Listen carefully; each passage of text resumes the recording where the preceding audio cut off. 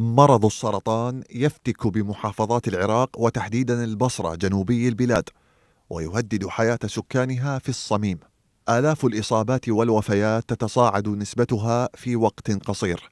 أطفال ونساء ومسنون يذوقون ويلات الألم. وسلطات حكومية وأحزاب سياسية لا يهمها سوى كيفية الاستمرار في حكم البلاد. أرقام وزارة الصحة تفضح ما تحاول الحكومة التستر عليه.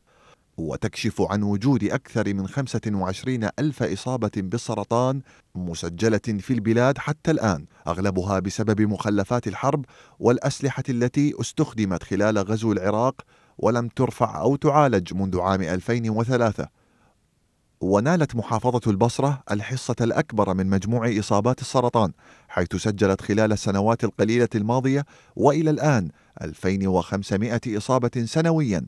وبمعدل 150 إصابة يوميا بحسب لجنة الصحة والبيئة النيابية. 26 موقعا ملوثا بالإشعاعات ومخلفات الحرب في البصرة فقط. تتوزع في مناطق الدرهمية والهوير والرميلة وأبي الخصيب والبرجسية والقرنة وجبل سنام والفاو. يضاف إلى ذلك تلوث المياه والتربة الزراعية من جراء الانبعاثات الغازية من الآبار النفطية ما يعكس حجم هذه الكارثة الصحية على أرواح العراقيين.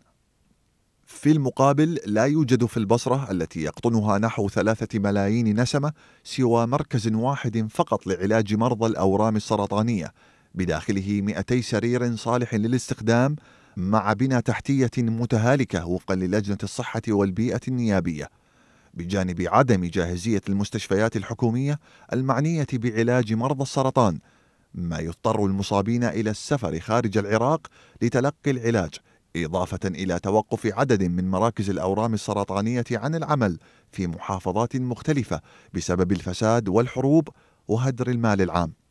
مختصون في مجالي الصحة والبيئة بجانب منظمات صحية وأخرى حقوقية طالبوا مرارا المسؤولين في وزارة الصحة بأن يكفوا عن صراعاتهم السياسية وصفقاتهم التجارية المشبوهة ويقوموا بواجبهم المفترض بتخفيف كارثة انتشار المرض.